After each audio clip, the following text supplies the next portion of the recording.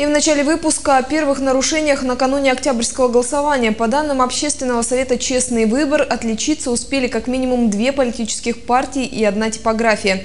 Так, в некоторых магазинах крупной торговой сети обнаружены агитационные листовки, наклеенные на ячейки для хранения личных вещей.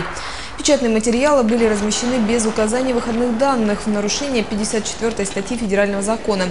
Этой же партией распространялись блокноты и самоклеющиеся ленты с лозунгом «500 миллионов в селу».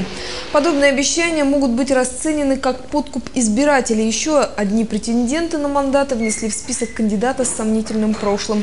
В 1998 году против выдвиженца было возбуждено уголовное дело в связи с растратой государственных средств.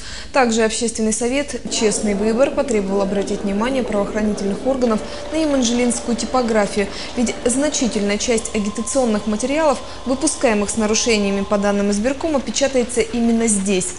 Тут же изготавливается экстремистский бюллетень «Наша российская правда». 3.